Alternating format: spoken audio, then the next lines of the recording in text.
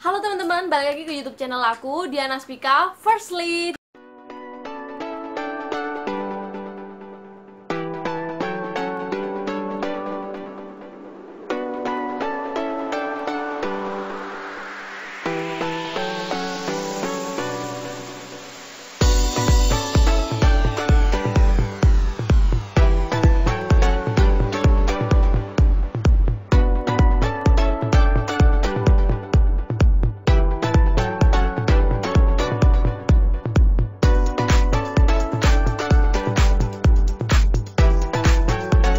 Sesuai dengan judul, di videoku kali ini aku mau nunjukin ke kalian tentang my hair care routine aku atau perawatan rambut atau hair treatment yang biasa aku pakai sehari-hari.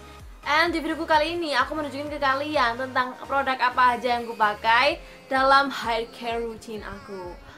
Tapi sebelum itu jangan lupa buat subscribe dulu channel YouTube aku dan jangan lupa buat follow Instagram aku diana.spika firstly.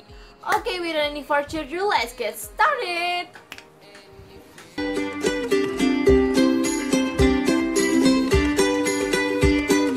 Mulai dari yang pertama, aku menggunakan shampoo dari Azalea Zaitun Oil and Habatus Sauda Oil. Di sini aku pakai sampo yang kegunaannya untuk merawat rambut rusak dan menguatkan akar. Sebenarnya ini sampo khusus untuk wanita hijab, cuman bisa dipakai untuk wanita yang non hijab.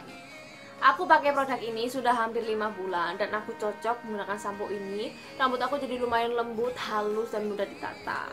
Selanjutnya di bagian conditioner, aku biasa pakai conditioner dari Macarizo Professional Conditioner with Mineral Oil for all hair types. Jadi ini untuk segala macam jenis rambut, segala tipe jenis rambut. Dan aku sudah bertahun-tahun pakai Macarizo ini. Aku suka banget pakai produk ini karena produk ini mengandung minyak mineral yang dapat membantu untuk menutrisi, melembutkan, dan merevitalisasi rambut dengan kandungan deep conditioner agents dapat merevitalisasi semua jenis rambut bahkan yang rusak sekalipun. Berhubung rambut aku rusak, jadi aku pakai conditioner dari Macarizo dan aku udah pakai ini selama bertahun-tahun dan semua keluargaku cocok pakai produk ini. Sekarang bagian masker, aku biasa pakai masker dari Ellipse, aku pakai Hair Vitamin Max Pro Keratin Complex Aku biasa pakai masker ini selama seminggu sekali karena sesuai dengan kebutuhan rambut aku. Semenjak aku pakai masker ini, rambut aku yang kering, rambut yang gampang rontok jadi berkurang semenjak aku pakai produk ini. Nah hanya itu, uangnya juga tahan lama. Hai, hair mask dari Ellipse dan ini adalah hair repairing untuk rambut aku yang rusak. Jadi ini cocok buat kalian yang rambutnya rusak karena smoothing atau rebonding. Aku saranin pakai produk ini karena produk ini dapat mengatasi kerusakan rambut kalian. Untuk hair tonic aku biasa pakai dua produk. Yang pertama produk dari Mustika Ratu dan yang kedua produk dari Natur. Cuman bedanya kalau Natur ini lebih ke mengurangi rambut rusak atau rambut rontok. Sedangkan untuk yang Mustika Ratu ini lebih fokus untuk menyuburkan rambut. Jadi buat kalian yang pengen rambutnya lebat atau kalian yang punya masalah dengan penipisan rambut dan buat kalian juga yang pengen rambutnya cepet panjang, kalian bisa pakai produk ini karena ini lumayan efektif buat rambut aku juga. Sekarang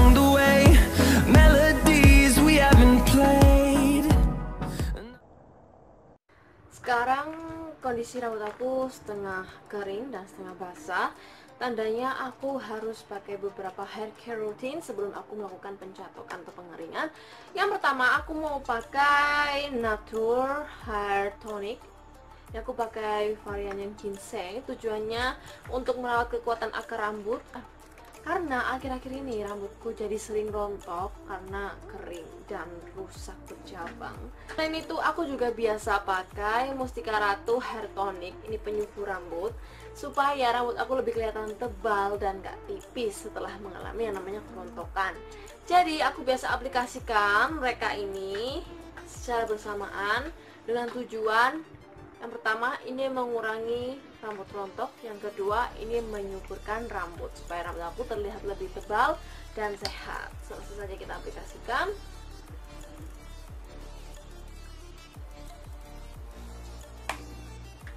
Oke setelah itu kita pijat merata secara perlahan sampai ke seluruh permukaan kulit kepala setelah itu aku selalu pakai Nature Hair Serum. Ini gunanya untuk melindungi rambut dari catokan yang akan aku pakai karena di sini ada tulisan protecting treatment. Terus sekarang mari kita pakai. Kita pakai secukupnya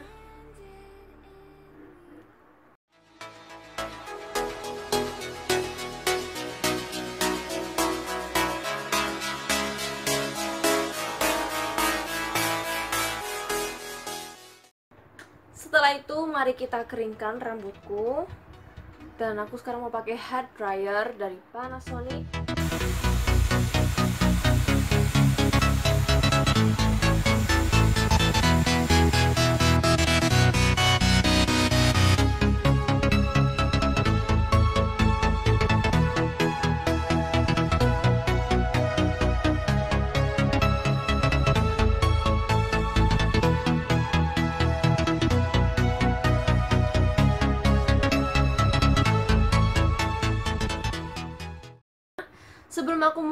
catokan, aku selalu pakai produk L'Oreal Paris Extraordinary Oil yang floral dan kali ini aku pakai Rose Oil Infusion dengan tujuan melindungi rambut aku dari panasnya straightener atau catokan. So langsung saja. Oh, oh ya, btw yang aku suka dari L'Oreal ini di sini ada bunga aslinya dong guys. Show you. Di sini ada bunga aslinya. Kebetulan yang aku pakai ini adalah bunga mawar rose. Ya.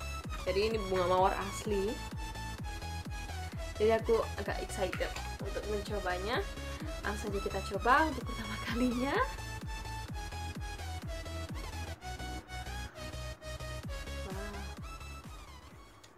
Kita oleskan ke seluruh batang rambut.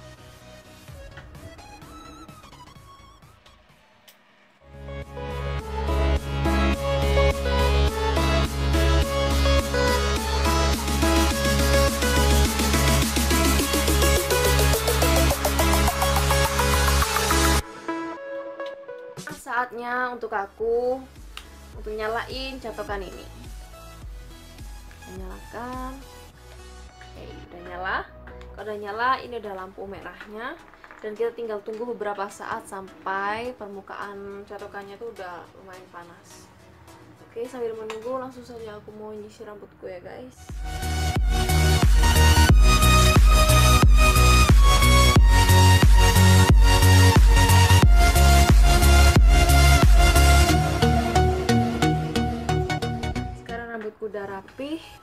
saatnya untuk memakai catokan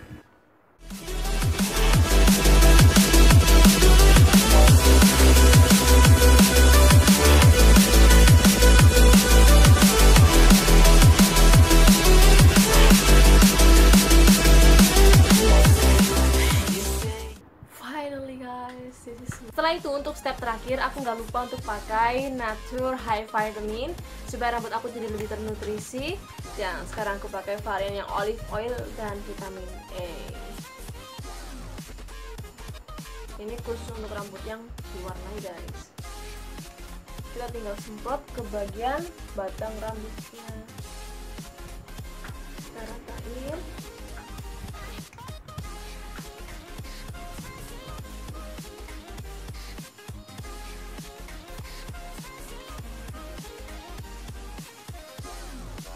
Nah, nggak hanya itu, rambut aku jadi lebih wangi dan nggak kusut lagi. Sekarang tinggal aku rapikan dengan menggunakan sisir.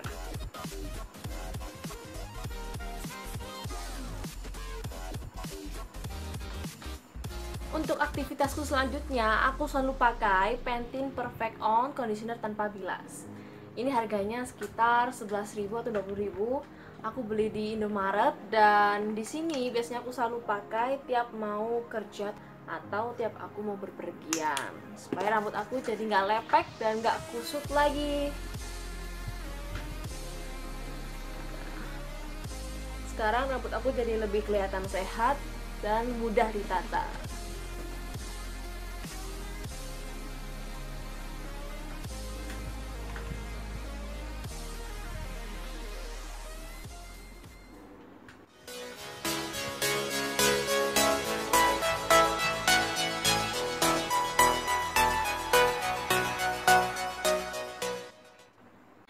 Guys, cukup sampai di sini dulu video dari aku. Semoga kalian enjoy dan semoga kalian suka.